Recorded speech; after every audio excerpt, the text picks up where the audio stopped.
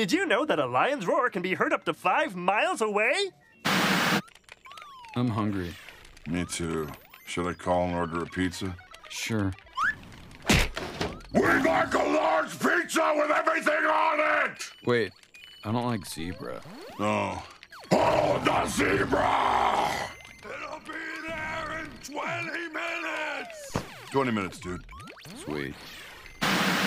Wow, gotta love a lion. He roars a happy tune, then he sleeps all afternoon. You gotta love a lion, you gotta love a lion. His tail has a tuft and his mane is always fluffed. You know you can't stop smiling, cause that lion's just so styling. There really is no denying that you gotta love a lion.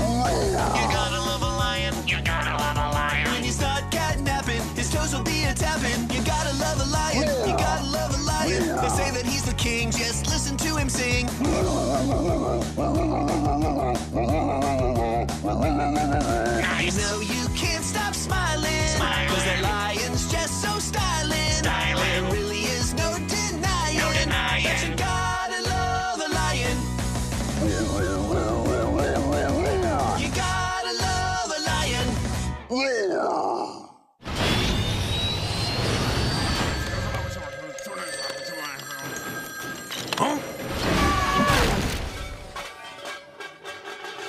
I told you a story about to get an answer, not dilly dally. We got the answer, boss.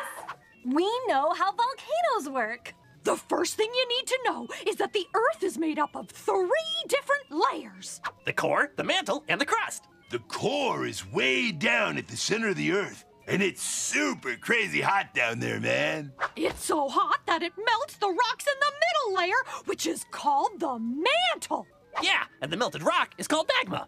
The top layer of the Earth is called the crust, and it's made up of giant pieces of land called tectonic plates. They like float around on top of the magma and the rocks and stuff. Sometimes when the plates collide or separate, it creates gaps in the Earth's crust. And when the magma from below rushes to the Earth's surface, That's how volcanoes work. Just, just give me that tape.